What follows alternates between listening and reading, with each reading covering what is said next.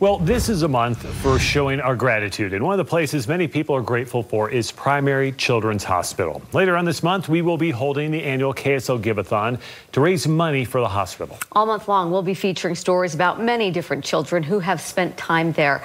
Today, Carole Mikita introduces us to the Bleyle family and their favorite nurse. Oh, yeah, yeah, yeah, yeah. Emmett Bleyle is a lively, happy five year old, but every day of his life, his parents say, is a gift. He goes through things that I couldn't even imagine going through, and, and he handles it with such a grace. When he was just two and a half months old, Jace and Riley experienced several anxious days at Primary Children's Hospital, and then came the shocking diagnosis he got a whole mess of things affecting pretty much his whole body, from his brain to pancreas, liver. I mean, just because of that process isn't working right. Like 70 to 80% of the kids that they know about with the diagnosis don't make it past one. So she was devastated. I was devastated. Emmett has glycosylation, a rare genetic disorder. There are only about 1,200 cases in the world, 200 in the U.S., and only Emmett in Utah. And there was a really big learning curve for us but also for our doctors right. trying to take care of us and, and trying to give us answers. We had so many questions and, you know, very, very few answers. They say they have lost count of how many times doctors and nurses at Primary Children's saved Emmett's life. He cannot walk or speak and needs a feeding tube. Everyone who meets him feels his enthusiasm for life. He has uh, lit up the room since he was a baby. He is affectionate. He wants to be with people.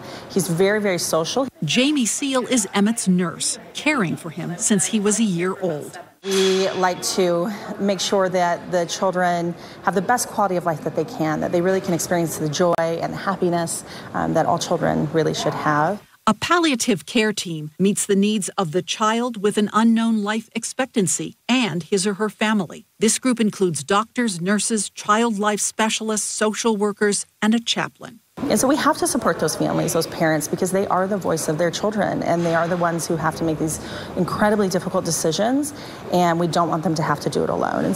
And during COVID and isolation, the PCH team was there for the Bleyles. They have that saying that not all heroes wear capes, and I totally believe that being in the hospital at Primary Children's. And they're the ones that are like there to kind of to pick your pieces up because you can't do it yourself, you know, and and so they they literally are our second family. Emmett is thriving, they say. There's something about him that people are just like, he sees into my soul, you know? Like, right. He looks at you and you know that like he can't talk to you, but he understands you. And they credit the remarkable medical team and the care that he receives from the hearts of primary children's professionals. So we want to focus on that whole family and that whole child.